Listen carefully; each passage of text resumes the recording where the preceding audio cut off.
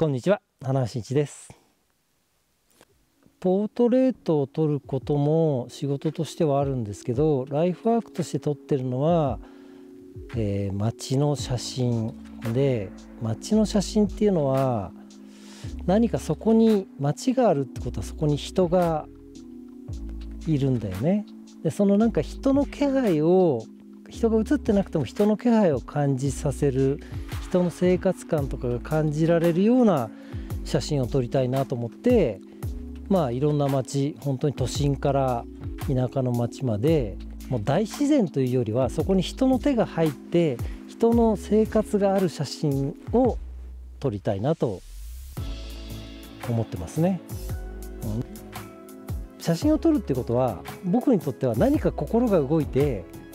ここを撮りたいと思うのね撮ってこんなに素敵だったのここがって言った気持ちを写真を見た人がああこういうとこ行ってみたいよねとかこういうシーンを見てみたいよねって思ってくれる写真を撮りたい、まあ、今回ね、えー、足尾の町まあ足尾銅山があった町ですね。でたまに来るとなんかね何とも言えない懐かしさとなんかその懐かしさから来る居心地の良さが感じられるのね。その懐かしさを自分の写真にしたいっていう気持ち。やっぱりこの K3M3 もある意味ちょっと近いものがあるんじゃないかなと思って。なんかどことなくやっぱり一眼レフカメラって、まあ、ずっと使ってきたこともあって懐かしさもあるしでもこのカメラで撮ってるそのシャッターのフィーリングとか音とかなんかねそういうものがねこうね居心地がいい感じがするのね。ちょっと錆びたガードレールとかね細い路地だとか東京の都会だとなかなか見られない景色なんか金網のところに立ち入り禁止って書かれてる空き地とかね。もうなんか日差しも不思議とやっぱりこの山あいの街だからちょっと夕方になると優しい光だったりとかね。それはこのリミテッドレンズとの相性がいい気がするんだよね。優しい気持ちを写真にしてくれるレンズかなって思うんでそういうのがこの街のちょっとなんだろうね強い日差しというよりはどんよりと曇った感じとかなんかちょっとね雪が路肩に積もってる感じとかねつららみたいになってる屋根とか。なんかそういうものを写す時にやっぱりリミテッドレンズ。僕はあんまりあの首からカメラを下げたりしないのであのもう手で持ったままこのままこうブラブラ歩く。でこの時のこのグリップ感って実は僕にとってはとっても大事でそれはここの、えー、と前側の指がかりと後ろ側のここの膨らみこれがね絶妙にちゃんと引っかかるんだよね。でもちろんストラップはこう手に通してるけどこの落ちそうで落ちないこの感覚のままふらふら歩けるっていうのが僕はとっても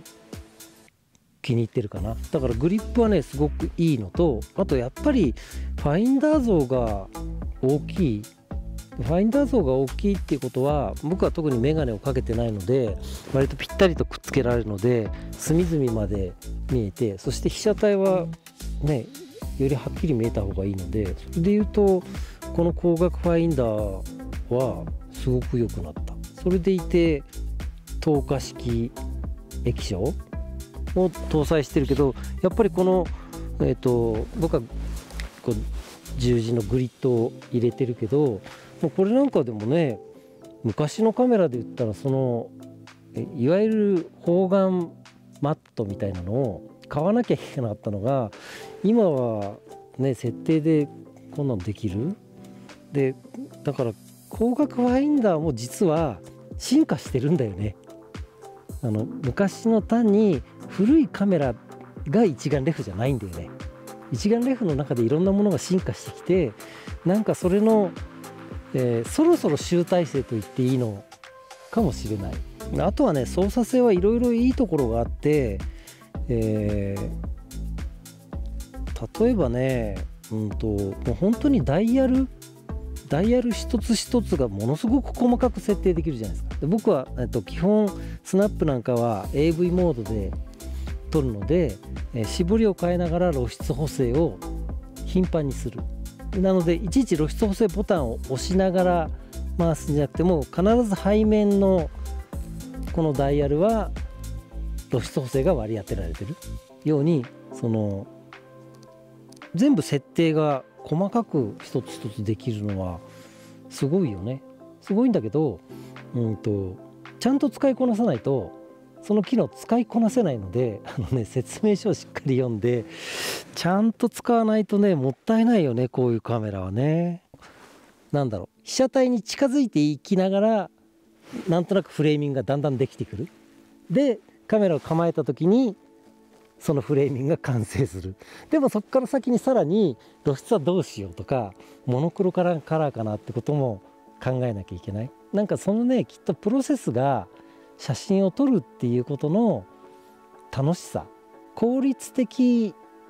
なお仕事カメラっていうとミラーレスのが便利かもしれない。だけど作品を作るっていうことで言うと自分のその思考が入り込む余地が多い方が写真としては面白いかもしれない。ファインダーの見え方ってとっても大事だし光学ファインダーだからこそ想像する頭をひねってそのどう出るんだろうっていうね、まあ、カスタムイメージはね僕はねもうリバーサルフィルムかモノトーンのまあほぼ二択かなその二択な理由は他が嫌いというよりも僕はねカラーはねリバーサルフィルムが好きなの。で、まあ、そのフィルムを使ってた時から、えーいわゆるポジフィルムねリバーサルフィルムが好きでペンタックスのカスタムイメージは本当にそのリバーサルフィルムっていう名前がついてるようになんか色のりと抜けの良さを両立してくれてるのでいわゆるフィルムを入れてリバーサルフィルムで撮った時の感覚に近いので僕はカラーはリバーサルが一番好きですね。被写体の仕上がりイメージが一番強いのは多分被写体を前にしてる瞬間だと思うんですよ。ファインダーを覗いてシャッターを切ってる瞬間が一番自分の仕上がりのイメージが強いのね。えどちらかというと今ここにあるこの被写体をこう撮りたいっていうイメージ通りに仕上げたい。でそれにはカラーは僕はリバーサルフィルムが合ってるしモノクロはモノトーン。で、えーキーの調整とかコントラストの調整とかをして追い込んでいく、うん、なんかそれが被写体を前にしてシャッターを切ってどうしようかなってしてる時間が楽しいかな。持つカメラによって撮りたいというかカメラを向けようと思うものが変わる。一眼レフカメラってやっぱりファインダーを覗いて撮るカメラなんでそうするとアングルに制約が出るじゃないですか。だからまあ僕は地べたに座ったりするけどでも自分の大体背丈より高いところはあんまり撮らないのね。あのライブビューを使えば撮れるけどでもやっぱり撮らないかな。そうするとこの自分が立ち上がって背伸びしたここぐらいがハイアングルになるしローアングルはよほど寝そべらない、まあ、普通の街中とかだとねせいぜいお尻をペタンとついてこうローアングルで撮るぐらいこれぐらいになるからその範囲も限られてくるしでもその範囲っていうのは多分あの人が見てる